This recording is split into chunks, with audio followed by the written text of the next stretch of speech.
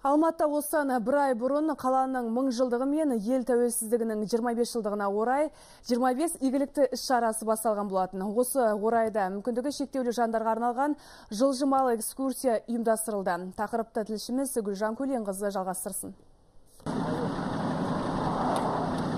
Қалаға саяхат Алматы метросының Райымбек станциясынан басталды.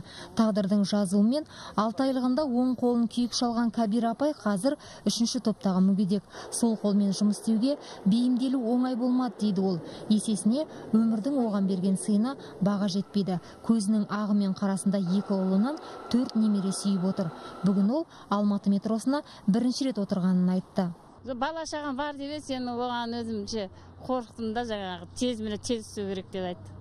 Содан кейін қорықтым. Метроға бірінші рет шыққанмын. Осындай шараны ұйымдастырғанға рахметімді айтамын. Жақсы ризамын. Тұңғыш президент саябағына келген мүмкіндігі шектеулі жандар таза ауада серуендеп бақтың көркін тамашалады.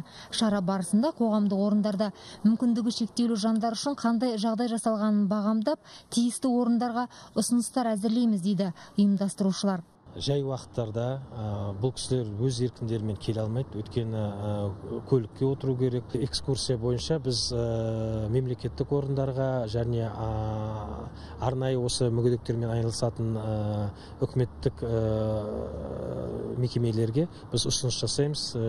Яғни осы мына денсаулығы шектелген азаматтар қай жерге келсе де кедергісіз орта болсын оларға.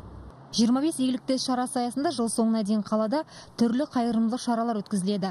Ал қалаға саяхат бағдарламасы бойынша мүмкіндігі шектеулі жандар орталық демалыс саябағындағы дельфинарийге барып көктөбеге апаратын қанатты жолмен қаланың көрінісін тамашалады. Гүлжан көленқызы кенже амраев 24 кз алматы.